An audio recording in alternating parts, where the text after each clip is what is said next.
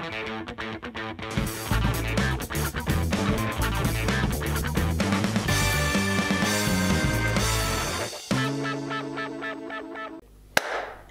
všetky hamburgerové deti. Dnes sa budeme baviť o tvojej obľúbenej téme, o práškoch, liekoch a o tom, ako ostať zdravý. Dnes to bude možno taký najvážnejší diel, lebo určite ste zachytili v televízii, prípadne v iných médiách pomerne už dosť príbehov o tom, ako vážne chorým pacientom eh, poisťovne nepreplatili taký onaký liek a oni potom museli vytvoriť si nejakú zbierku a pýtať od ľudí peniaze, aby sa im na ten liek vyzbierali. Čo je taká malá odbočka grobovej parkete, lebo je to vlastne taký crowdfunding, nie? Je to taký spôsob riešenia problémov, ktoré ľudia majú a nevyriešili štát, alebo nemohli sa spoliehať práve na poistenie zdravotné alebo na nejakú zdravotnú poisťovňu a určite ste počuli o príklade na stránke Zomri, kde sa ľudia vyzbierali jednému chlapcovi, ktorý mal, alebo ktorý stále má rašteb chrbtice. A toto si liečil v Belgicku a odmieta mu to preplatiť poisťovňa a ľudia sa mu tam vyzbierali na preplatenie tejto liečby asi sumou 16 tisíc za 90 minút teda keby naozaj expresne rýchlo vyzbierali veľké množstvo peňazí. Dokopy vyzbierali, myslím, že okolo 50 tisíc e, eur, čo je naozaj e, veľká čiastka a to je taká ukážka toho, že keď niekde mm, povedzme, že zlyhá, alebo neúplne všetko dokáže preplatiť štát, tak dokážu to nahradiť aj ľudia takouto slobodnou zbierkou. To je pozitívny úvod, ktorý sa mi páči. Ak sa vám páči takýto pozitívny úvod o tom, čo všetko spontánna spolupráca ľudí dokáže, tak si určite Prečítajte Robovú knihu Pokrok bez eh, povolenia. Ešte... Ktorú, ktorú som musel držať, ale... Ale nakoniec sme ňou podložili foťák, ale máme no. ešte kopec, takže ak chcete, príďte do kancelárie, to sa dá kúpiť, prípadne v knihkupectvách. Ale poďme k tej ťažšej časti. Stále sa hovorí, poisťovne nechceli preplatiť, no ono je to celé oveľa, oveľa zložitejšie a myslím si, že táto téma týchto drahých lieč, liečieb mm-hmm. bude do budúcnosti ešte veľkým problémom pre celý systém verejného zdravotníctva. Ale, ale zoberme to tak od podlahy, že som povedzme, že pacient, bol som u doktora, mám nejakú chorobu a predpísal mi nejaké lieky. Dal mi papierík, recept a prídem do e, lekárne a odrazu, ja, som, ja to mám tak, že ja neviem vopred, vopred či budem platiť, nebudem platiť, vždy to je taká keby lotéria, že či musím vyťahovať peňaženku, nemusím, tak e, existuje v tom nejaký systém, e, dá sa povedať, že ktoré lieky prepláca poistenie, ktoré neprepláca? Systém samozrejme existuje. Uh, začnem teda úplne od podlahy. Platíš si zdravotné poistenie, máš preukaz poistenca, si zapojený do toho systému verejného zdravotného poistenia. Uh, existujú mnoho tisícov liekov, ktoré môžeš dostať na XY uh, rôznych problémov. Uh, tie sú rozdelené zhruba následovne. Úplne bokom dajme nejaké doplnky, vitamíny a podobne. Doplnky výživy. Doplnky výživy, keď ty ich bokom nedávaš. Existujú potom také voľne predajné lieky, väčšinou rôzne na proste bolesti. Prichádza chrypkové obdobie, tak rôzne na znižovanie teploty a zápaly a podobne. Hej, čiže tam prídeš, vykešľuješ si to v lekárni, kúpiš, odídeš, uh, žiaden problém. No ale my sa bavíme teda o tých liekoch, ktoré nejakým spôsobom sú preplacené z toho poistenia. Alebo, alebo dostane človek ten uh, papierik, recept tak. To bavíme sa o tých eh, liekoch. No, ono to nemusí byť recept, lebo tie lieky dostávaš napríklad aj v nemocnici. Keď mm-hmm. chodíš do nejakého, máš eh, rakovinu, tak ako neaplikuješ si ich sám na základe receptu, mm-hmm. ale priamo v nejakom zariadení a mm-hmm. to tvorí teda nemalú časť. Báme sa o liekoch z verejného zdravotného poistenia. Tie môžeme rozdeliť na také, mm, povedzme, tri skupiny alebo dve skupiny. Prvé lieky, prvá skupina sú kategorizované lieky. To znamená, existuje nejaký zoznam, existuje nejaká kategorizačná komisia, príde nejaký liek na trh, veľmi zjednodušene, teda najskôr musí byť zaregistrovaný, to znamená, že ty vyrobíš ako farmafirma nejaký liek, kuchtíš a prídeš s ním za regulátorom, či napríklad americké FDA alebo Európska obdoba EMA, uh, povieš, že mám takýto takýto liek som vyrobil a ty vlastne musíš prejsť klinickým testovaním, kedy ukážeš, že ten tvoj liek e, robí veľa dobrého a málo zlého. Mm-hmm. To sú rôzne teda fázy, sa to porovnáva placebo. Ono, to, ono trvá nejak hrozne dlho, nie? Som počul. Trvá to strašne dlho. že to je drahé. Ale to, je to samozrejme extrémne drahé, lebo tak musíš veľa kombinácií, mm-hmm. veľa pacientov tam zapojiť a, a rôznych uh, subjektov. E, toto je ale proces registrácie. Tá registrácia len hovorí, že tento liek existuje, má takéto nejaké dokázané účinky a takéto dokázané nejaké kontraindikácie a negatívne účinky a podobne. No a tak, takýto registrovaný liek teda sa dostane pre tú kategorizačnú komisiu, ktorá potom posudzuje, že či sa tento liek bude preplácať z verejného zdravotného poistenia. Uh, povedal by som, že veľká časť liekov, s ktorými bežne prídeme, alebo drvia väčšina liekov, s ktorými bežne prídeme do styku, sú uh, kategorizované. To znamená, že tam nie je žiadna diskusia o tom pre poisťovňu, či ho preplatí, nepreplatí. Le jednoducho máš takúto diagnózu, lekár ti napísal takýto liek, ty prídeš s tým receptom do tej lekárne alebo aj v nemocnici ti ho, ti ho dajú a tam sa nič nerieši. Ale pri tej kategorizácii vlastne tam sa posudzujú nejaké kritéria, o nich sa môžeme za chvíľu pobaviť. A keď ten liek tie kritéria nesplní, tak nie je kategorizovaný. A to znamená, že ty sa môžeš dostať do situácie, ešte je taká tá druhá, alebo to je skôr podskupina týchto prvých liekov, že tzv. orfan lieky, čo sú lieky na e, zriedkavé ochorenia, ktoré má tuším jeden z 50 tisíc ľudí. Alebo tak, tak je to nadefinované. Tak je to nadefinované, kde tie kritéria sú trošku voľnejšie, ale to nazveme taká podskupina. A potom mm. je tu skupina liekov, kde jednoducho neboli kategorizované, ale tvoj lekár, väčšinou sú to teda nejaké závažné diagnózy, rakovina, rôzne autoimunitné ochorenia a podobne, tvoj lekár ti povie, že existuje takýto liek, ja som proste o ňom viem a myslím si, že by v tvojom prípade ti mohol pomôcť, tak ja ti vypíšem lejstro, ty prídeš do svojej zdravotnej poisťovne a požiadaš o výnimku. Uh-huh. A tá poisťovňa na základe nejakého svojho interného procesu rozhodne o tom, či ti tento nekategorizovaný liek na základe tej výnimky preplatí alebo nie. Uh-huh. Tak poďme sa teraz pobaviť o tých kritériách, že vlastne podľa čoho sa nejaká tá komisia rozhodne, že tieto lieky budú dostávať všetci akoby bezplatne, nie zadarmo, lebo za ne niekto musí platiť a tieto lieky necháme na jednotlivé posúdenie nejakej e, poisťovne alebo potom na rôzne zbierky alebo samotných ľudí, ktorí si to musia zaplatiť. Tak čo je tým hlavným kritérium, keď sa asi idú rozhodnúť, že tento liek budeme preplácať pre všetkých? Uh, tie kritéria sú, ako, je to taká nejaká štruktúra kritérií, ale môžeme si ich zhrnúť do jedného slova, je to nákladová efektívnosť. Hm. To znamená, že sa pozerá, uh, aký je prínos toho lieku, aká je cena toho lieku. A prínos Eh, zjednodušene môžeme povedať, že sa používa eh, tzv. ukazovateľ QALY, to skratka, sa volá Quality Adjusted Life Years, mm-hmm. ktoré hovorí tom, že ty keď budeš užívať tento liek na základe svojej diagnózy, eh, pribudne ti, ja neviem, 8 rokov kvalitného života. No a následne sa pozrie, aká je cena tejto, tejto liečby, videli sa to, že koľko stojí vlastne ten jeden rok kvalitného života a porovná sa to s hraničnou hodnotou. A tá hraničná hodnota Zase je tam ako taký rozsah hraníc, ale v princípe môžeme povedať, že je to medzi 30 až 40 násobkom priemernej mesačnej mzdy spred dvoch rokov. Čiže je to niekde medzi 30 až 40 tisíc eurami za rok pridaného kvalitného života. Inými slovami, veľmi zjednodušene musím povedať, e, kategorizujú sa tie lieky, kde je dokázané, že ich užívaním pri tej diagnóze e, sa zaplatí z verejného zdravotného poistenia maximálne 40 tisíc eur za každý pridaný rok kvalitného života. Čiže dá sa zjednodušene povedať, že to je taká nejaká hodnota roku ľudského života, ktorá sa posudzuje. To znie úplne tak, keby ako nejak vymyslené číslo, alebo dá sa keby nejak povedať, že akú hodnotu má e, ľudský život, alebo ako, ako to nejak sa dostanú k takéto nejakej konštante, že e, to sa nejak vypočítava, že podľa toho, koľko môže odpracovať, alebo koľko zaplatí na daniach, alebo... Ako každý štát má, má svoju tú hranicu kvality mm-hmm. určuje. Popravde netuším, akým procesom sa prišlo k tej slovenskej hodnote.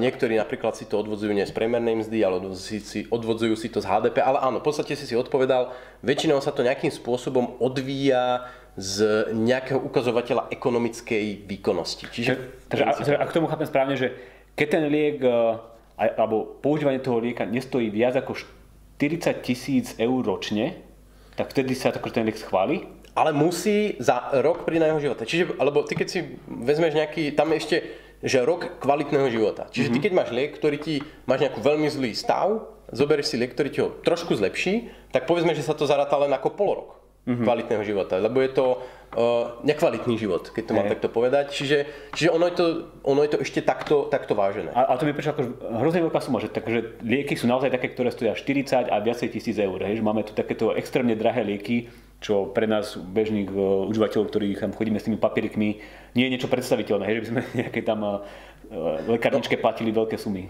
To je, to je práve, kde sa dostávame vlastne k začiatku, úplnému začiatku tejto našej diskusie, že väčšinou teda títo pacienti, títo ľudia, ktorých, ktorí sa so svojím problémom predstavili niekde v médiách, mm-hmm. sú tí, ktorým prisúdili väčšinou teda nejakú štandardnú liečbu. Veľmi často sú to pacienti s rakovinou, to je veľká skupina. Čiže prisúdili mi nejakú štandardnú liečbu, nejakú štandardnú chemoterapiu, e, ktorá buď im nezaberá, alebo si myslia, či už na základe nejakých dôkazov alebo emócií, ale častokrát ako lekár im povie, že existuje takýto nejaký liek v Európe, eh, že teda tento liek im môže pomôcť lep viac, nejaká imunoterapia, nejaká biologická liečba a podobne. Akorát, že ten liek eh, nie je teda kategorizovaný a je extrémne drahý. Extrémne drahý znamená, že takáto biologická autoimunitná genová terapia stojí jedna kúra v rádoch desiatok tisíc ale kľudne to môže byť aj v radoch stoviek tisíc. Máme mm. prípady liekov, najdrahší liek, ktorý registrovala americká FDA, jedna kúra stojí 2,2 milióna dolárov. Máme lieky, ktoré stoja nad milión eur za jednu kúru. A na Slovensku takéto lieky, keby niekto predpisuje alebo odporúča? Či máš také no, informácie, že... nie sú kategorizované, to no. znamená, že nie sú štandardne v tom zozname, ale samozrejme môže sa stať, že je ti na základe nejakého povedzme, že v drvej väčšine je to snáď na základe nejakého lekárskeho odporúčania, že by ti mohol pomôcť e, tento liek a vtedy ty ideš s tou výnimkou za tú svojou zdravotnou poisťovňou. E, pričom v médiách sú tie prípady, keď tá zdravotná poisťovňa to neschváli, mm-hmm. ale v realite oni schválujú 80 až 90 týchto liekov na výnimku. Plus máš aj nejaké kategorizované lieky alebo liečivá, e, typicky napríklad hemofilici, ktoré majú problém so zraženosťou krvi, Uh, ich ročná liečba, ktorú vlastne dokážu do konca života, stojí niekedy aj v radoch stoviek tisícov eur. Čiže mm-hmm. máme na Slovensku aj pacientov, ktorí sú štandardne na základe uh, kategorizovanej liečby dostávajú takúto drahú liečbu, ale práve pri týchto prípadoch, ako je rakovina a podobne, tak uh, tieto lieky nie sú kategorizované a títo ľudia ich nedostanú.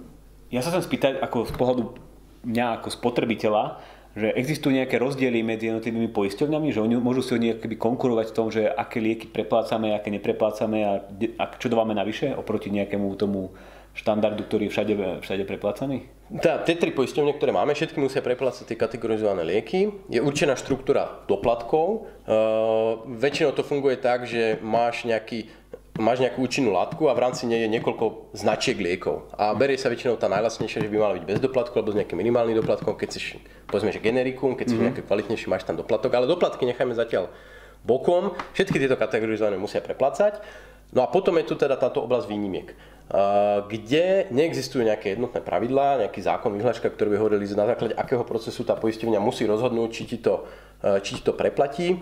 A ako každý jeden prípad je posudzovaný individuálne. Čiže oni... A, a ja sa pýtam, že či keby existujú, ja neviem, e, moc, povedzme, že nepozerám na televízor, že existujú nejaké akoby reklamy alebo niečím, či sa snažia prilákať tých ľudí, že by ukazovali... To, že to som teda nezachytil a nemyslím si. Hej, to je ako také dosť interná Ale napríklad, ak, ak sa pýtaš, že máš jedného pacienta, ktorý je, má jednu, jednu výnimku a príde do troch rôznych zdravotných no, no, no. poisťovní, môže sa stať, že v jednému to dajú a v jednej nie. Práve tým, že je tam to ako subjektívne rozhodovanie, kedy sa to posudzuje na základe nejakých ich kritérií, kedy to dajú. Tam je ešte jedna zaujímavá vec, že, že v podstate ministerstvo zdravotníctva hlavne teda ministerstvo financí tlačí na to, aby e, poisťovne dávali na tieto lieky na výnimky čo najmenej. Pretože v rámci rozpočtu je to ako keby taká mini čierna diera, ktorú oni nemajú pod kontrolou a kade, kade ako keby sa navyšujú tie celkové výdavky zdravotníctva. Čiže napríklad aj teraz na jeseň bolo podpísané memorandum medzi zdrav- ministerstvom zdravotníctva a všetkými poisťovňami poskytovateľmi, kde sa poisťovne zaviazali, že, nedaj, že dajú o 16 miliónov menej na výnimky ako dali teraz v tomto roku. Čiže... To by som uh, povedal, že to je proste akoby naopak, že akože štát uh, tlačí ešte na to, aby tí súkromníci neprepasovali tieto Áno, áno, to, to práve veľa ľudí si myslí, že ako tej poisťovne, ale v podstate oni majú nadiktované noty, ako by mali dávať. Hoci zase majú autonómiu, čiže keď ako sa rozhodnú porušiť tento memorandum, hm. je to, je to viac menej na nich. Ale ako, je to veľký problém z toho hľadiska, že uh, my sa tu väčšinou nebavíme o tom, že tie lieky by zachraňovali životy. Akože je pár príkladov. Ten čo, liek, ktorý som hovoril za tých 2,2 milióna dolárov, to je mm. napríklad trošku netradičný liek v tom, že je na svalovú dystrofiu, že ty dostaneš jednu kúru a ako brutálne sa ti skokovo zlepší stav. Mm. Ale pri väčšine prípadov, najmä v prípade rakoviny, je to tak, že ty s chemoterapiou by si mal, ja neviem, prežitie 2,5 roka, dostaneš nejaký super drahý biologický liek, máš prežitie povedzme 5 rokov. Mm. Čiže pribudnú ti 2,5 roka života. Nie je to, že by si sa vyliečil, máš trošku kvalitnejší ten život, že nemáš také vedľajšie efekty tej liečby a podobne, ale v princípe nie si, nie si zachránený. A to je práve ako jadro tej otázky, že akým spôsobom rozhodovať o tom, že to je dodatočný rok, 2-3 života, kedy ten zdravotný systém má zaplatiť tie častokrát obrovské peniaze za to a kedy jednoducho musí povedať, že nie, bohužiaľ. A aká je momentálne situácia na Slovensku, že ten náš systém je nastavený nejak správne, nesprávne, dávame, ja, mám takú informáciu, moc sa tak nevedujem v zdravotníctvu, že dávame akoby veľa peňazí na lieky na Slovensku, že veľa konzumujeme liekov a či toto keby je to, to momentálne nastavenie nejaké správne, no. alebo v porovnaní so zahraničím povedzme, že ako to majú v Českej republike alebo v susednom Rakúsku. Spotreba liekov je veľká otázka, pretože keď pozrieš do štatistík, vidíš, že v pomere k celkovým výdavkom v zdravotníctve na lieky ide priemer až nadpriemer. Ale máš tam dve ale. Prvé ale je, že my máme relatívne stále ešte nízke mzdy, nízke kapitálové výdavky na nemocnice a podobne, kdežto tie lieky ako stoja rovnako vo Francúzsku, mm. stoja zhruba rovnako na Slovensku. Čiže potom samozrejme e, v tom celkovom koláči tie lieky tvoria väčšiu, väčšiu porciu ako napríklad v Nemecku alebo Francúzsku, kde sú drahí lekári, mm. alebo drahé sestry, drahé budovy, drahé prístroje. To je jedna vec. Druhá vec je, je veľký chaos v dátach. E, v súčasnosti oficiálne dávame na lieky 1,2 miliardy eur ročne nemusí to byť úplne realita, alebo niečo je rátané dvojmo. Donedávna sme úplne zle reportovali e, spotrebu liekov OECD, čiže nechcem úplne hovoriť, že dávame extrémne veľa dáva, alebo extrémne málo. Určite ani, nesme ani v jednom z týchto extrémov. E, čo môže byť problém je, že e, ten kategorizačný proces je veľmi pomalý. Mm. To znamená, že máš aj lieky, ktoré by splňali podmienky, ale kým sa dostanú do toho systému úhrad, tak, tak to strašne dlho trvá.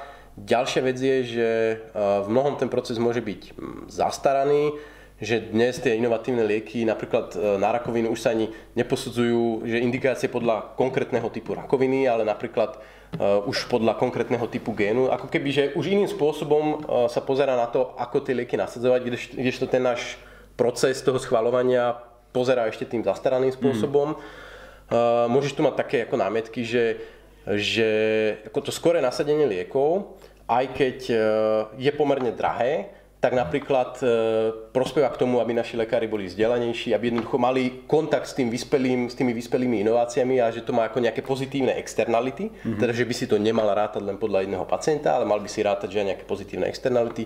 Ďalšia námietka môže byť, že uh, zaprvé vôbec ako je rátané to kvali, lebo sám si asi vieš predstaviť, že presne povedať, že tento liek mi prinesie 4 mesiace, 80% života je dosť ťažký výpočet a teda mm. tieto čísla sú v mnohom postavené, postavené na vode. Nerátaj sa úplne sociálne dopady, že či je ten človek, človek práce neschopný alebo práce schopný, že či ten liek ho napríklad nedostane nazad do pracovného procesu a tým pádom generuje väčšie hodnoty. Čiže to sú všetko veci, ako ktoré do budúcna by sme sa mali nejakým spôsobom naučiť posudzovať, lebo bude sa tá situácia meniť na stále väčší chaos. A teraz idú voľby, tak uh, prichádzajú politici s nejakými, nejakými riešeniami alebo nejakými spôsobmi, ako to zmeniť, ako to upraviť, alebo toto je téma, do ktorej radšej nikto nepichá nikto nehovorí o tom, že uh, ako ty si vlastne napísal v tom článku, že nemôžeme všetci jazdiť na Ferrari a v budúcnosti tento problém bude narastať a uh, budeme ho musieť nejak riešiť, teda budeme musieť niekto povedať, že ty dostaneš a ty nedostaneš. Že či politici hovoria o tom a hovoria ľuďom tak trošku pravdu, že tie lieky nie sú zadarmo a že ne, no, nebude na všetkých. Ne, nepostrehol som takéto mm. nejaké veci v programoch. Práve preto, že uh, to vyžaduje, aby niekto povedal, kde sú tie hranice. Proste, že v ktorom momente, ako je mi ľúto, si vážne chorý, zomieráš, máš deti, ale ten liek preplatený nedostaneš. Dostaneš, respektíve nedostaneš ten najtop liek, aký, si, aký je k dispozícii na trhu, dostaneš len nejakú štandardnú liečbu. To, to znie dosť hrozne, hrozne, čo si teraz povedal, takže... Pretože, pretože priemere na Slováka v slovenskom zdravotnom systéme prípada 1100-1200 eur, ktoré mm. zaplatíme na zdravotných odvodoch, vrátane detí, starcov a, a tak. A teraz si vezmi, že z tých 1000 eur na osobu ty musíš zaplatiť nemocnice, lekárov, sanitky a lieky. No a dnes sme v situácii napríklad v prípade rakoviny, rádovo jednotky percent ľudí, ja neviem, 2, 3, 4, 5 percent ľudí je indikovaných na to, aby vôbec mohli dostať tú najpokrokovejšiu biologickú genovú imunoterapiu a podobne, mm-hmm. tú extrémne drahú. Ale tým, ako ten pokrok stále postupuje, tak pribúdajú za A nové drahé lieky na stále ďalšie a ďalšie a ďalšie diagnózy.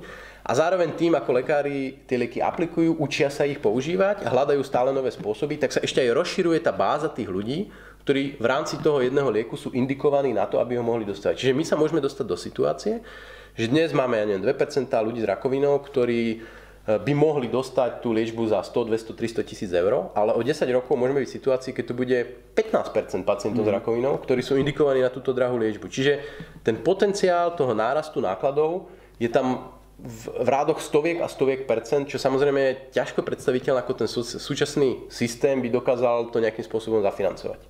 Ešte ma napadla taká jedna otázka, že uh, my sa tu radi rozprávame o takom akým hekovaní alebo prichádzaní na to, ako si zlepšiť život, keď má človek nejaké problémy.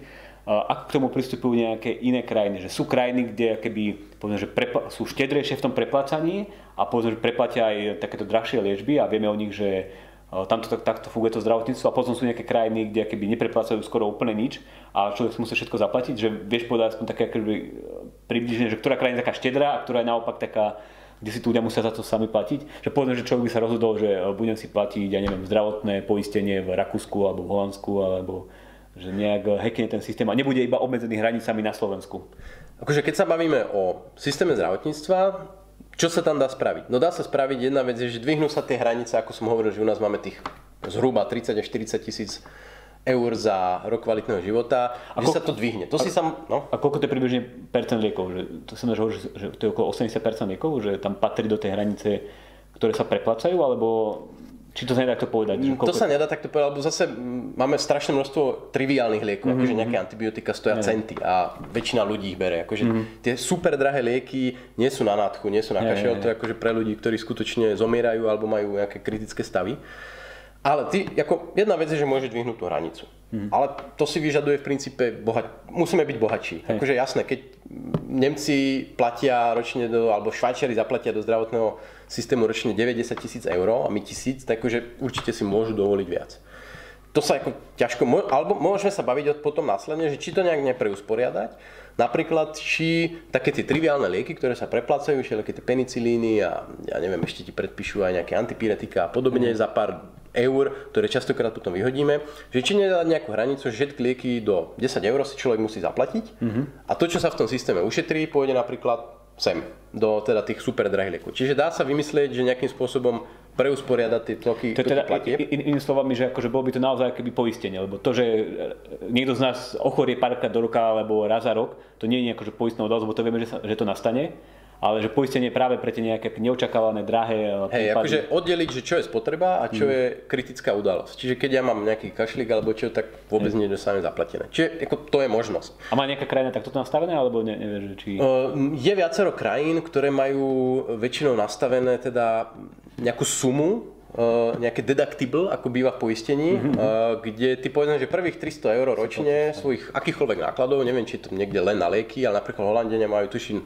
prvých 300 alebo 400 eur ročne na zdravotnú starostlivosť ty si vykešuješ. Až mm. potom, keď prekročíš tú sumu, tak si začínaš, ako dostávaš ako to, to preplatené. Čiže dá sa to nastaviť takýmto spôsobom. To ale samozrejme úplne nebude stačiť, lebo tie centové penicilíny nedokážu úplne nahradiť ako tie mnoho 100 tisícové, mm. tisícové čiastky. Je to čiastočné zlepšenie. Ďalší spôsob je napríklad vytvoriť e, nejaký fond, ktorý by bol ešte pomimo a bol by to fond inovatívnej liečby. Napríklad v, vo Veľkej Británii majú takýto zriadený, ktorý ako keby prepláca takéto nekategorizované nadštandardné, nadštandardné uh, lieky. Zase samozrejme je tu otázka nejakého narábania tý, s tými financami, lebo akékoľvek peniaze, ktoré sa minú na tieto lieky, mohli byť minuté aj iným spôsobom. Mm. Čiže mala by tam byť nejaká nejaká hodnota na peniaze, no a za peniaze. A potom ako súkromná možnosť tu je, existuje niečo ako uh, poistenie kritických chorôb, mm-hmm. kde ty jednoducho platíš mesačne nejakú poistku, častokrát v kombinácii s životným poistením a podobne. A máš tam dané zoznam chorób, ja neviem, 40 diagnóz, a učíš si tam, že ak budem mať jednu z týchto diagnóz, zaplatia mi 50 tisíc eur alebo 70 tisíc eur, ak si to nastavíš a ako z týchto financií by si si teoreticky mohol aj sám dofinancovať nejakú z tých drahších lieč, liečieb?